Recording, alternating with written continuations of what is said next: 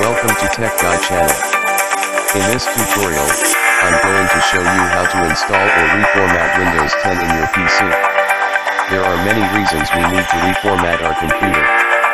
Either our computer doesn't start, hard drive is full, too many errors, you want to upgrade your system, computer is running slow or you have a hard drive problem. In my laptop case, I have a hard drive problem so I need to change it. You can notice this when booting the system, you might get a recovery screen stating that the system can't load and or locate certain files. This is directly related to a hard drive malfunction. I tried recovery options but after a week, it still come with the same problem. In this time of recording, it so happened that it's a lockdown caused by the pandemic so it's hard to go out and buy a new one. For now, I will replace the hard drive with my external storage. This worked for a year. This hard drive capacity is 500 megabytes compared to the original hard drive which is 1 terabytes and is quite good. Before installing fresh Windows 10 OS, I have to disassemble first my laptop and replace it with the new hard drive.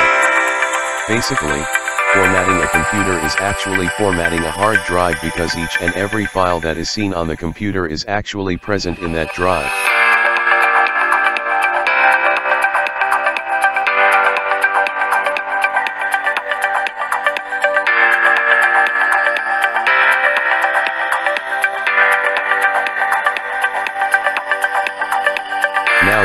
Hard drive is attached, it's time to install fresh Windows 10 OS.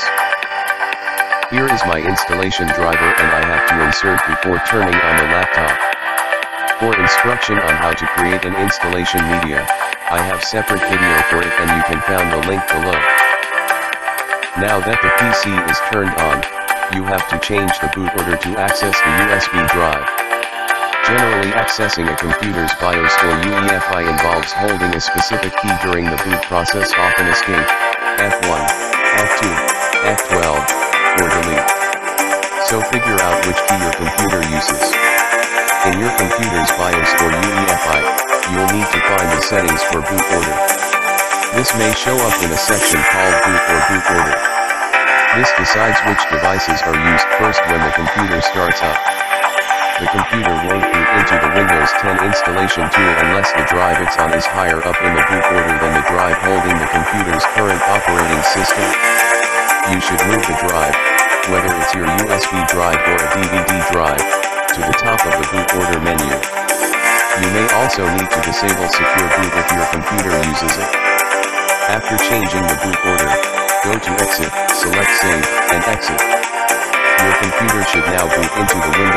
installation tool, which will guide you through the process of setting up Windows 10 on your computer.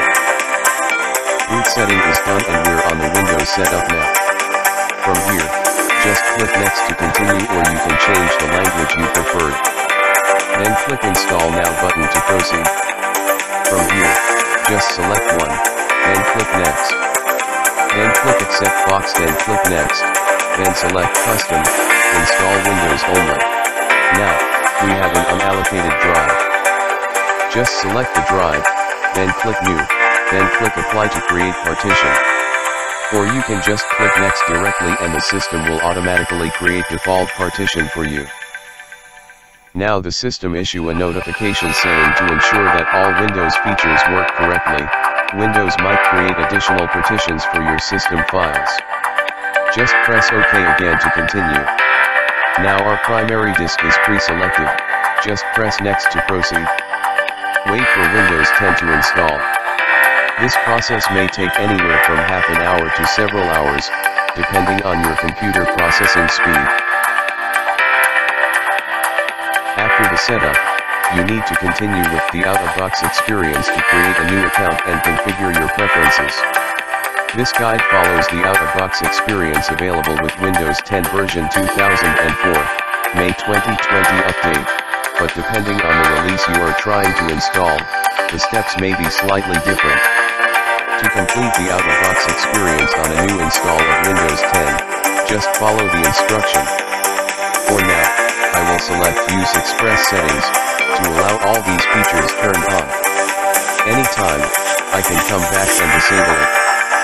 If you want to disable some or all of these feature, you can select customize settings to toggle of any feature you don't want. Here in my create an account for this PC, just supply the given entries, then click next to proceed.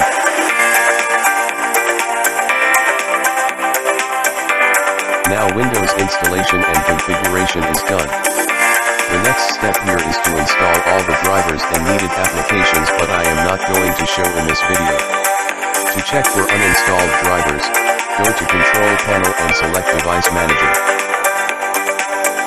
Here under the other drivers shows all uninstalled drivers. My advice here is just go to other PC, upload the Ethernet or network driver, then go back to your PC and install it, the visit Control Panel, then open Device Manager, then right-click on uninstalled driver then select search for drivers from internet.